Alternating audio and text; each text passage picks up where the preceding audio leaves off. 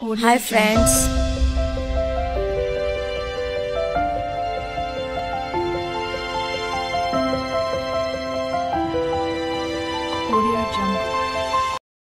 Good morning friends welcome back to my channel fill art with Rajni तो आज हम लोग मॉर्निंग में बना रहे हैं नाश्ता बड़ा चाट।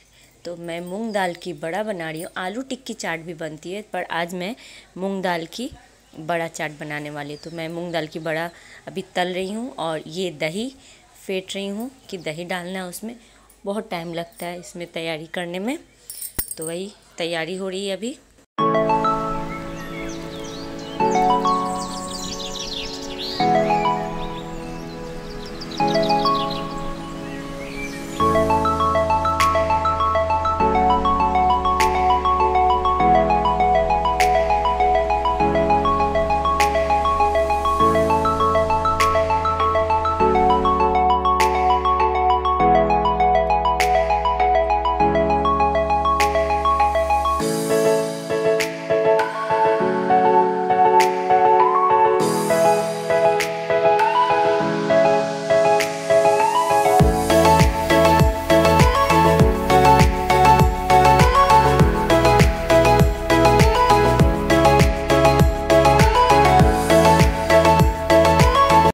अब हमारी चाट की तैयारी हो चुकी है तो अब मैं बड़े को काट के उसमें मटर डालूँगी।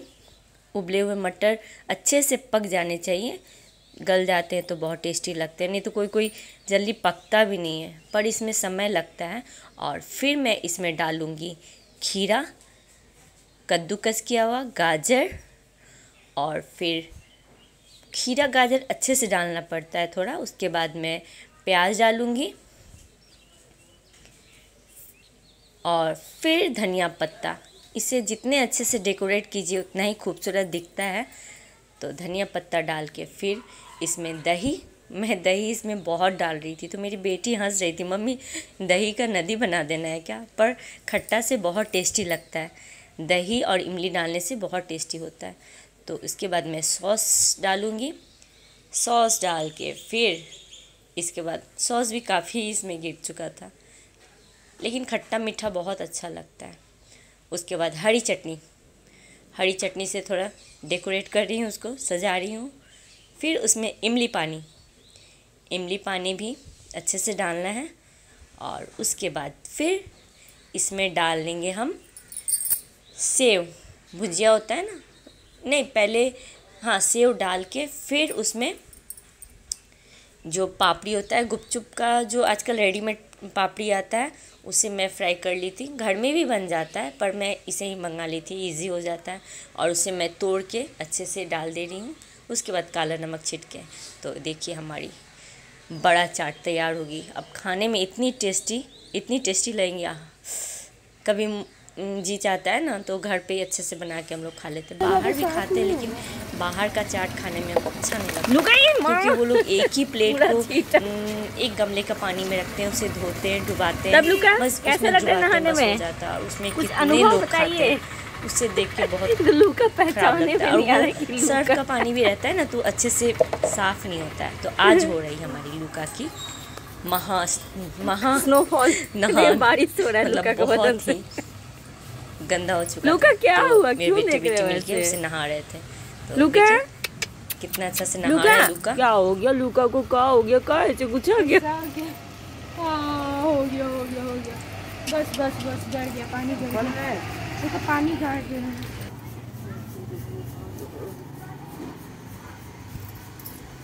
एक्सप्रेशन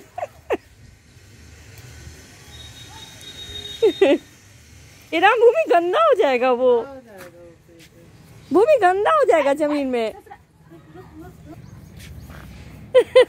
ये राम पूरा गंदा हो जाएगा वो देखो। बड़ी में रूम में कर दिया कि गंदा ना हो। दूध में पूरा भिगा देगा। कुछ है बड़ा आपके पास? अरे अरे। हे भगवान।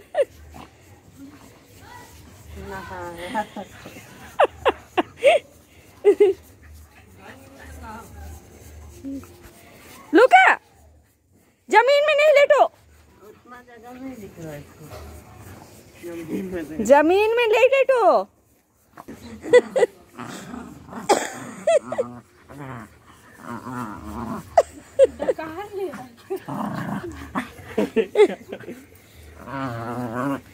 भगवान। अरे ज़मीन में नहीं। लुका लुका अरे, अरे, अरे। बा- भाई पोछा जा रहा है, बस उसको डालो ना उसका देह पे डाल उसका देह पे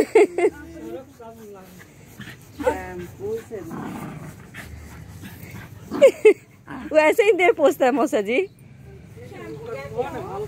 हाँ। लुका, हो गया। मन शांति हो गया ना? हाँ लुका? लुका लुका लुका लुका लुका लुका। क्या हुआ? उधर चादर पर चादर पे जाओ। आओ चादर पे अरे! ए, देखो ये भगवान गंदा हो जाएगा तो। अरे अरे ऊपर से छलांग मत मार देना। ये